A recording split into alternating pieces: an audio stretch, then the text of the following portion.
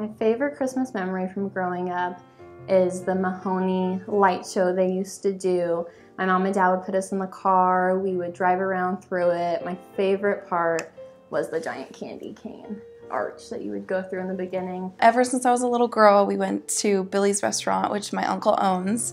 Um, so he makes um, steaks and everybody brings good food. We play games, open presents. It's a really good time. We like to, as a family, all get in the car and go around and look at Christmas lights.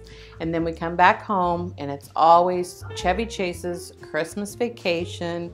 And even though everybody can recite all the lines and whatever, we still watch it every year and still laugh. Uh, that Clark, that there is RV.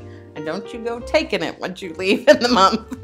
Thinking of special gifts though, when my son was 16, he was a, a sacker at Russ's and had saved and bought me a, a little diamond pendant necklace. And uh, it was still is one of my most favorite gifts, and he's he's gonna be 40. so.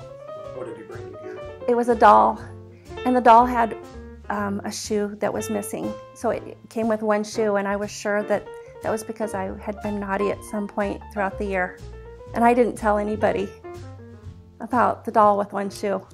Traditions now, I have, I made this ridiculous like cardboard um, fireplace and I have two bunnies, so they've got their own little stockings, and then I've got my stockings, so I fill all their stockings. a couple of years ago, I got this hideous jacket, and I got it when I was um, dating this guy from him and his parents, and I kid you not, this jacket was made of carpet. And it was like five times too big. So when I opened it, I'm like, Okay, so I'm gonna try this on to see if they realize this is terrible, and I'm just walking around with this giant carpet-like jacket on. Where is the jacket it lines my rabbit's cage. Mm-hmm.